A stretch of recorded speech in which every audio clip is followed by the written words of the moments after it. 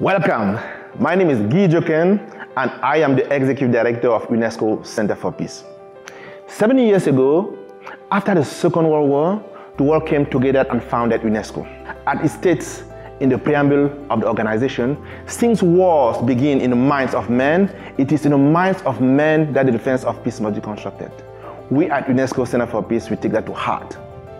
That's why our mission is not just only to promote the ideals of UNESCO, but also and more importantly, to help raise a new generation of peacemakers that are going to strive to make the culture of peace a commodity of everyday life through education, science, culture, and communication.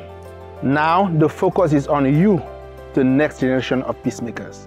UNESCO Center for Peace has partnered with a number of distinguished world-class universities for you to continue your great work as a model UN ambassador. We have created this opportunity to allow you to continue to grow, succeed, and expand the mission of world peace through the culturally driven curriculum.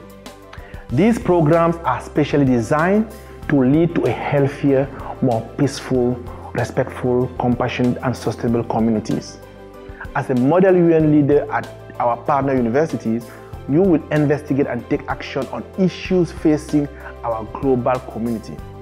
Make personal and professional connections across cultures and learn what it means to be a global leader.